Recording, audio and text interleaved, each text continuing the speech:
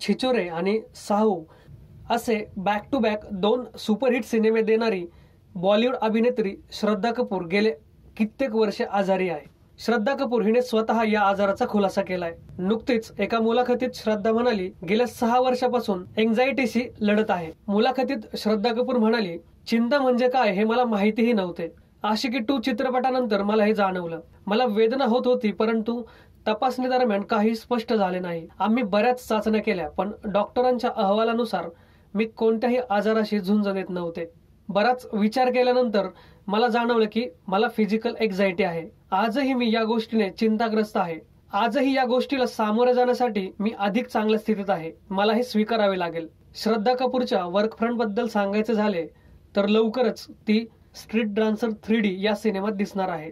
हा सिनेमा पुढील वर्षी चोवीस जानेवारीला रिलीज होणार आहे. याशिवाय मार्चमध्ये श्रद्धा टायगर श्रॉफच्या बागी थ्री या सिनेमात दिसणार आहे.